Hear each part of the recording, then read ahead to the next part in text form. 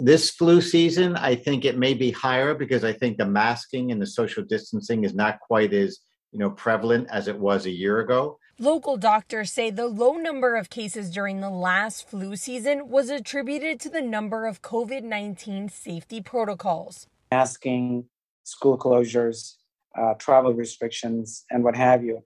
That had a, a, very positive impact on the on the rate of uh, flu um, uh, cases that we see normally inpatient in the hospital. The symptoms for flu include fever, chills, cough, and headaches, which are similar to COVID 19 symptoms. And the lack of flu testing may have been another reason for the low number of cases.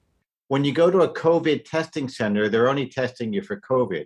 Whereas if you go to a physician's office or if you go to a hospital or maybe some of the urgent cares, they test you for flu and for COVID. So we may see more of it.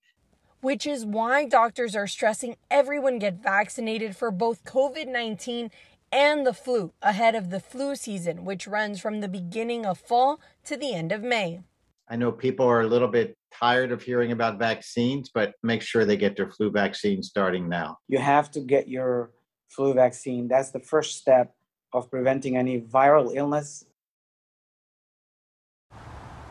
The doctors also suggest to continue wearing your mask, social distancing, and washing your hands to best protect you from both COVID 19 and the flu. Reporting live, Ana Espinosa, WPBF 25 News.